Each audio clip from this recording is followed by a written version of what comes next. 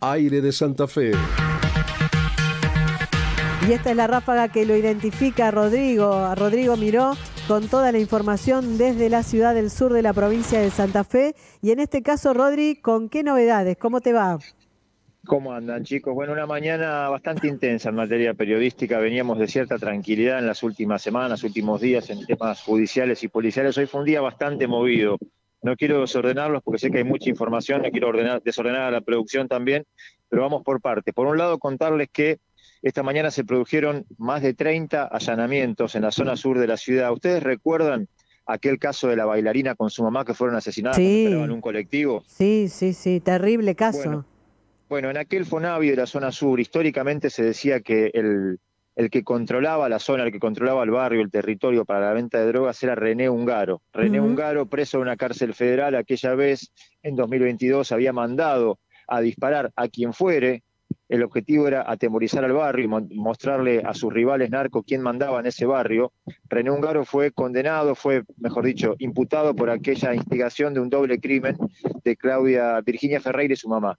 En ese mismo barrio, hoy se produjeron allanamientos y otra vez el buscado, el señalado detrás de los detenidos, que fueron cinco, es René Ungaro. Parece increíble, pero es real. Está preso, está preso en una cárcel federal, es un preso de alto perfil, de máxima seguridad, y sin embargo, para el fiscal Franco Carbone y el fiscal Ramiro González Raggio, es quien está detrás de extorsiones a los vecinos en el barrio. Vinimos a la conferencia de prensa por ese tema, por los 30 allanamientos, entre otras cosas, por ejemplo, estamos hablando de un referente narco, y no es que lo decimos en metáfora, encontraron hoy 10 kilos de cocaína, máxima pureza, con un... ¿En los allanamientos?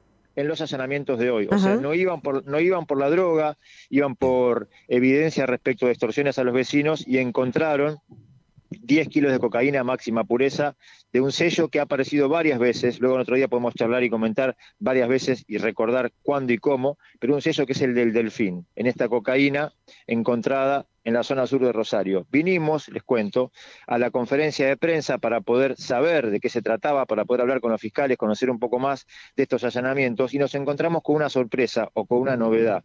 El fiscal Franco Carbone contó también que el próximo viernes en audiencia imputativa se va a acusar a otro preso, Carlos Peloduro Fernández, Peloduro es el apodo, está preso en la cárcel de Coronda, es un preso de alto perfil en la provincia de Santa Fe, está en una cárcel provincial. Y escuchen esto, ¿de qué lo van a acusar? Hace pocos días, hace pocos días, hace aproximadamente 10 días, yo recuerdo haber despertado y cuando estaba preparando las noticias para contar cada mañana en aire de Santa Fe, me encontraba con mensajes de colectiveros que me decían, parecía un déjà vu, mostraban la foto de disparos a un colectivo de la línea 146 en Rosario.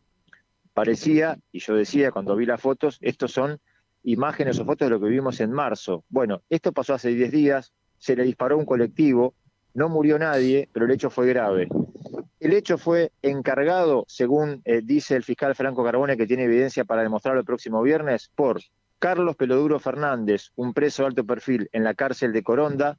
Recordemos que cuando cayó preso, cayó preso por haberse tuvo un accidente con una camioneta Toyota Hilux en la cual quedó en esa camioneta 500 kilos de marihuana.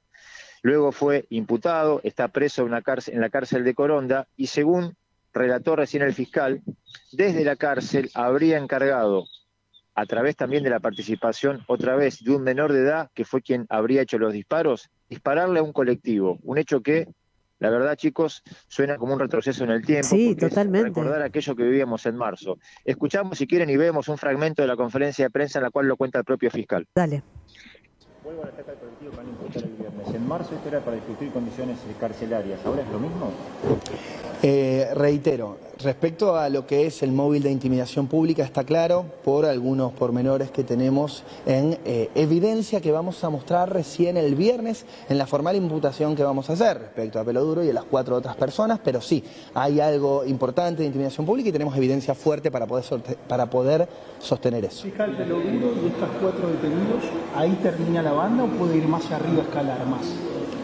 Eh, en lo que nosotros estamos trabajando, que puntualmente son extorsiones, eh, usurpaciones y amenaza a distintos vecinos de la zona, eh, nosotros como punto máximo tenemos a Peloduro, que es Carlos Fernández.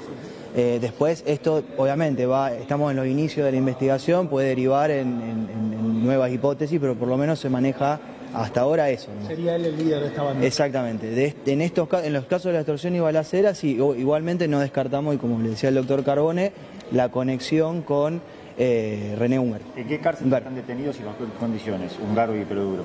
Húngaro está condenado a 18 años de prisión por los delitos que, uy, perdón, que le había mencionado y eh, creo que está en la cárcel de Piñero, si no me equivoco. Sí, ambos están en la órbita del Servicio Penitenciario Federal, uno de ellos, y el otro en la órbita del Servicio Penitenciario Provincial. Los dos, el de el del federal en lo que es el sistema de alto riesgo y en lo que es eh, el servicio penitenciario provincial en el sistema de alto perfil. También estuvimos trabajando y ordenando varias requisas en simultáneo con la doctora Lucía Masneri. ¿Pero sería uno de los que usa uniforme naranja? Eh, pelo duro sería una persona que está en alto perfil, concretamente no sé si los alto perfil de Coronda tienen o no uniforme naranja. Ahora, eh, con las condiciones que actualmente se tienen, prohibición de celulares, inclusive de visitas, ¿Cómo se habría podido filtrar la decisión de esta persona, por lo menos eh, el accionar la orden para que se dispare? Perdón que sea reiterativo con esto, algunos detalles, faltan escasos días, tenemos personas que han sido detenidos al día de hoy que están incomunicados, razón por la cual este tipo de detalles lo vamos a brindar el miércoles a escasos días cuando hagamos la audiencia imputativa. Muchas gracias.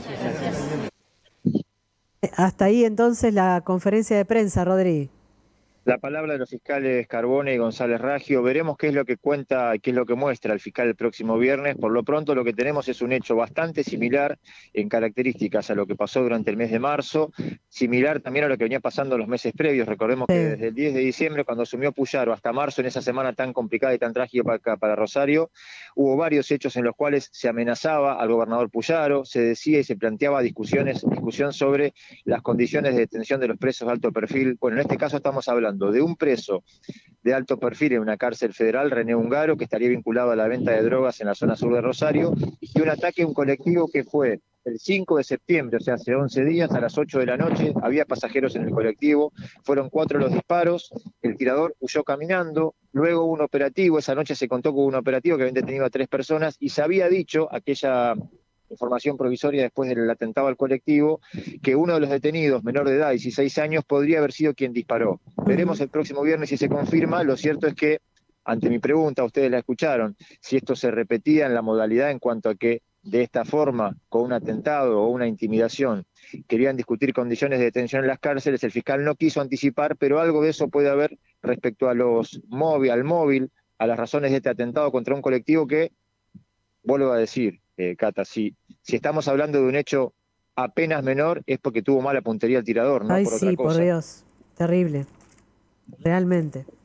Realmente. Rodri, bueno, cinco detenidos en este caso, más la droga incautada también.